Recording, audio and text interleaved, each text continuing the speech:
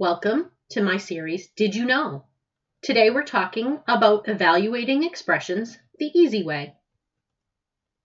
Before we begin, let's talk about the difference between evaluating and solving. My students often get confused and misunderstand what the difference is. So to evaluate an expression means to find the value of the expression when the variable is replaced by a given number. So notice that you have evaluate and you're talking about value. So value is within the word. It's part of the word evaluate. And you're going to be finding the value of something when you evaluate. When you're solving something, the biggest difference I could tell students is that you have an equal sign and you're finding a solution. Solve, solution. And it means to find the variable. So you're finding the solution of an equation and what the variable is equal to. So to put it back all together, when you're asked to evaluate, you're going to be given the value of a variable x, and you're going to ask to be finding the value of the expression. When you're asked to solve, you would expect to be finding the solution of an equation, which is what does x equal? What is the value of x? So when you're evaluating, you're going to be given the value when you're solving, you're going to find the value of the variable. All right, so before we begin reviewing how to evaluate an expression, you need to review order of operations. So the first thing in order of operations is P, and we simplify any parentheses. So if there are any parentheses within our expression, we do what's inside. We evaluate or simplify what's inside the parentheses first. Then we look at our expression and we look for any and identify any exponents. And if there are any exponents, we have to do that repeated multiplication. Remember, exponents is repeated multiplication. So 3 squared is 3 times 3. And you'd want to evaluate that before you continued. Next, this is important. Students often confuse multiply and divide because they've learned the expression PEMDAS and they go through and they do all the M and then they go back and do all the D. M and D need to be done together. Multiply and divide are done in order. So you look at your expression, your mathematical statement, just like you would read a book. You read it from the left to the right. And any time, starting at the left, that you come across a multiplication sign, you multiply.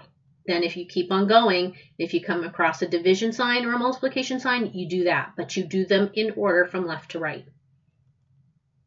And lastly, you do the AS in PEMDAS, the add and subtract. And again, they are done together, but in order from left to right. So starting at the left side of your expression that remains after doing the P, the E, the M, and the D, then look and you do all the addition and subtraction in order from left to right. If you don't do these in order, you could get the wrong answer.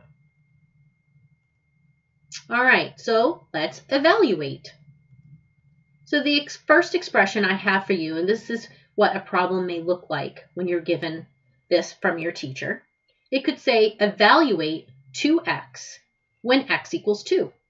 So the algebraic expression here is the 2x, reminding you that that is 2 multiply by x. There's an invisible multiplication sign right in between the 2 and the x. So I ask students to remember that. That is 2 multiply by x. And remember, what this statement is saying is that you're going to replace x in the expression with the value of 2. So I like my students to use parentheses because when we start introducing fractions and decimals and negative signs, it can get confusing. And if we put parentheses, we know that we're putting inside that parenthesis whatever x is equal to. So we're prepared for any value. Good practice. So now inside the parenthesis, I put what x is equal to that I've been given to in the problem. And now I just simply have to do 2 times 2, which is 4. Okay, let's evaluate another one. So here we have our expression that is 3x squared reminding you that this is 3 multiplied by x squared. So we write down the expression, and in the parentheses, remembering that this is 3 and the invisible multiplication sign, and I replace the x with 4, and I still have my exponent of 2. So remembering back to my order of operations, even though I have parentheses here, there's nothing to do inside the parentheses. So my next step is exponents. And 4 squared is 4 times 4, which is 16. Now I need to multiply 3 times 16, which is 48. So this expression, 3x squared, is equal to 48 when x is equal to 4. So let's review the negative x. Remembering that negative x has an invisible 1. That is negative 1 times x. Or the value of x, make it its opposite, make it negative.